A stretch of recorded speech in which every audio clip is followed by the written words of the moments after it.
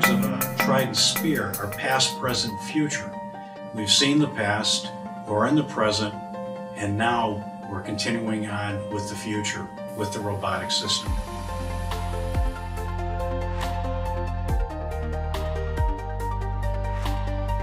My name is Jim Galaska. I'm the president and owner of Trident Alloys. We're a steel and stainless steel sand foundry. We make castings for the valve industry, the pump industry, the energy sector. We do sculptures. We forward sculpture castings for Arturo Di Modica, the famous artist, uh, the Charging Bull in New York City. We pour propellers for Naiad. We get involved in just about anything we saw a tremendous advantage and a new market for Trident alloys. Viridis approached us about becoming their, their beta site. This machine is the future of the foundry industry. It lets us get into prototyping of castings, offering a competitive advantage in that we can make a mold, make a casting without having to go through the expense of making the hard tooling. This system can be left unattended 24 hours a day, seven days a week, making molds.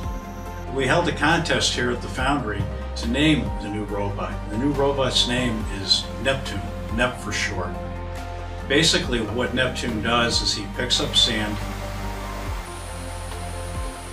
lays the sand down across the surface. As he sweeps back, he levels the sand and deposits binder in the areas that are needed to be able to, to form the casting. He continually does that, building up three to three and a half inches an hour. So we get a complete mold. We get our gating, we get our risering, we get the core making all in one big sweep.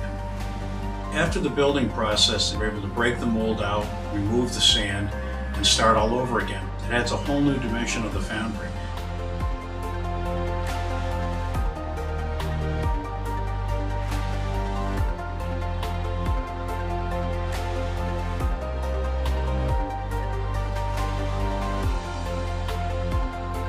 Trident Alloys has always been a foundry bent on being ahead of the curve, trying new technologies, just like our three-pronged spear, the past, present, future. With Viridis and Trident Alloys together, the future is now with the newest technology.